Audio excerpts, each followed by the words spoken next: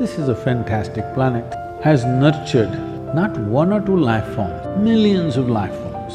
The sheer variety of life of animals, birds, plants, insects and worms that we have on this planet is mind-boggling.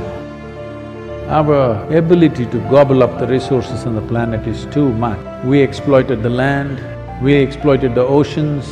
Our idea of life has become exploitation. From an atom to anything, we are seeing how to exploit. Every creature we have killed, everything needs to be protected. A fierce animal like tiger today needs protection because we have not found any other way, any other vehicle through which we can expand. We are naturally thinking exploiting the physical resource is the only way to expand. Right now, our very economies are built like this, it's all about more, more and more.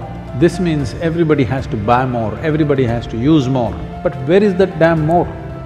We are on a exploitative mode, not by choice, by compulsiveness. The only and the only solution for this is consciousness. When humanity begins to operate out of consciousness, then compulsiveness will not rule us. When compulsiveness does not rule us, we will do just what is needed, nothing more, nothing less. We have to come to that place, otherwise if they give us another ten planets that we can live on, we will destroy all that in the next two centuries maybe.